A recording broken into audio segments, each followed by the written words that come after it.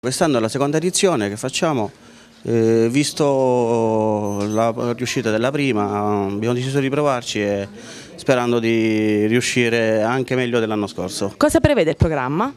E niente, c'è tanta musica, la prima sera il 4 con eh, apertura assente alle 19 e poi c'è Romeo e Sonora che è un gruppo folk e il sabato sera ci sarà sempre apertura assente alle 19 poi un gruppo salentino e poi la domenica un gruppo rock con accessori anni 60. Il rossicino abruzzese autentico e certificato a Villa Petto. Sì, il nostro mm, rossicino ha un valore aggiunto rispetto agli altri rossicini mm, abruzzesi, soprattutto c'è delle peculiarità che troviamo solo a Villa Petto di Colledare ed è per questo che noi amministrazione siamo molto contenti di dare una mano a questi ragazzi per l'organizzazione mm, della sagra.